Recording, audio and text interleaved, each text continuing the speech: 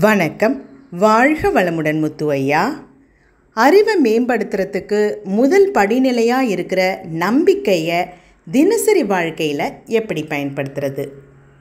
வாழ்க வையகம் வாழ்க வையகம் வாழ்க வளமுடன். குரு வாழ்க குருவே துணை. ஒரு ஆடோ மாடோ ஒரு கல்லூரி போய் அறிவை மேம்படுத்த தேவை இல்லை. அதனால் முடியவும் முடியாது. ஆனால் ஆறறிவு படைத்த மனிதன் அறிவை மேம்படுத்த மேம்படுத்த ஆனந்த வாழ்வில் நிலைக்க முடியும். அறிவை மேம்படுத்த மூன்று படிநிலைகளை மகரிஷி அவர்கள் குறிப்பிட்டிருக்கிறார்கள். அதில் முதல் நிலை நம்பிக்கை. பிறந்ததில் இருந்தே அம்மா பல் தேய்க்கணும் என சொல்லுகிறார்கள். அதை நம்பி நாம் செய்கிறோம். இதுதான் அறிவின் முதல் நிலை. அடுத்த நிலைதான் ஏன் பல் துளக்கணும் என புரிய முயற்சிப்பது.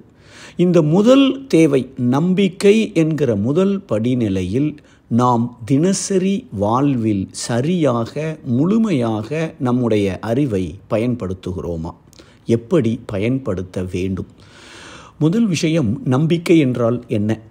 மனம் ஒருவரையோ அல்லது ஒன்றையோ விருப்பத்தின் அடிப்படையில் அவர் கூறுவதையோ செய்வதையோ உண்மை சரியாகத்தான் இருக்கும் என்று நம்பும் நிலையே நம்பிக்கை. நம்பிக்கை மாறிக்கொண்டும் இருக்கலாம். பிறர் மீதோ பிறர் நிகழ்வுகள் மீதோ நம்புவது நம்பிக்கை. என்னையே நம்புவது தன்னம்பிக்கை. இறைவனை நம்புவது இறை நம்பிக்கை. ரெண்டாவது விஷயம் நம்பிக்கை என்பது மனித வாழ்விற்கு முக்கியமானது. நாம் கஷ்டப்படும் காலங்களில் நமக்குள் மறைந்திருக்கும் ஆற்றலை திறமைகளை கொண்டு வருவது நம்பிக்கையே. என் மேலேயே எனக்கு நம்பிக்கை இல்லை என்றால் நம்மை இறைவனால் கூட எப்படி காப்பாற்ற முடியும்? எப்படி சார் இருக்கீங்க? என கேட்டால் அட்டாசமாக இருக்கேன் சார். சூப்பர் என பதில் வரலை என்றால் அவர்களிடம் தன்னம்பிக்கை குறைவாக இருக்கிறது என்பதுதான் அர்த்தம். மூன்றாவது விஷயம் நம்பிக்கை குறைவு என்பவர்களுக்குத்தான் அச்சம் கவலை புலம்புவது அழுவது என்ற எதிர்மறை உணர்வுகள் அதிகமாக இருக்கும். நம்பிக்கையை அதிகரிக்க தேவையான முயற்சிகளை எடுக்கவில்லை என்றால் வாழ்வில் முன்னேற்றம் என்பது எட்டா கனியாகவே இருக்கும். நான்காவது விஷயம் இறைவன் மீது நம்பிக்கை வைத்து நம்மை முன்னேற்ற ஏற்படுத்தப்பட்டதுதான் பக்தி மார்க்கம். இந்த நம்பிக்கை நூறு பர்சன்ட் உறுதியாக இருக்குமானால் சிற்றறிவு கேட்டால் பேரறிவு கொடுக்கும் ஈர்ப்பு விதி இதெல்லாம் அதிக அளவு நமக்கு சாதகமாக வேலை செய்யும்.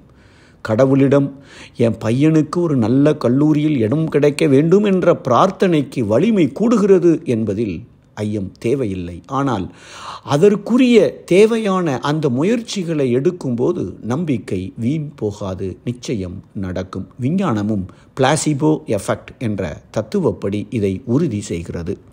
அஞ்சாவது விஷயம் தினசரி வாழ்வில் முட்டி வலி குணமே ஆகலை. பத்து வருஷமாக போராடி கொண்டிருக்கிறேன். உடற்பயிற்சி செய்ய நேரமே கிடைப்பதில்லை. வீட்டுக்காரருக்கு என் மேல் உண்மையான அன்பு இல்லை கடமைக்காக இருக்கிறார். பையன் கணக்கில் சில்லி மிஸ்டேக் போடுவான்னு எனக்கு தெரியும். டாக்டர் சொன்னாரேன்னு அறுவை சிகிச்சை பண்ணிட்டேன் என்னத்தை சொல்கிறது அத்தனையும் நம்பிக்கை இன்மையின் வெளிப்பாடுகள். அறிவை வளர்க்க முதல் தேவை நம்பிக்கையை நூறு பெர்சன்ட் முழுமையாக சரியாக பயன்படுத்த வேண்டும். அடுத்த நிலைதான் நாம் ஏன் அப்படி நம்ப வேண்டும் என்ற ஒரு ஆராய்ச்சி. நம்பிக்கை இல்லாமல் ஆராய்ச்சி செய்தாலும் ஆராய்ச்சிக்கு பிறகு நம்பிக்கை குறைந்தாலும் சிக்கல்தான். நீங்கள் எதை முழுமையாக நம்புகிறீர்களோ அதை மட்டுமே நிஜத்தில் அனுபவிக்க முடியும். இதை உணர்ந்து அறிவின் முதல் படியான நம்பிக்கையை முழுமையாக பயன்படுத்துவோம். வளமோடு வாழ்வோம். நன்றி. வாழ்க வளமுடன். வாழ்க்கை கல்வியை ஏற்று வாழும் முறையை மாற்று. வாழ்க்கையை வாழ்வதற்கே. வேதாத்திரிய பயணம் அதற்கே. வேதாத்திரியம் வாயேஜ் வேதாத்திரிய பயணம் என்ற பெயரில் வேதாத்திரிய தகவல்களை ஃபேஸ்புக் இன்ஸ்டாகிராம் லிங்க்டின் இணையதளங்களில் பெறலாம். இன்று இணைக. Life at three sixty sky professor Muthu இந்த யூடியூப் சேனலை சப்ஸ்கிரைப் பண்ணுங்கள்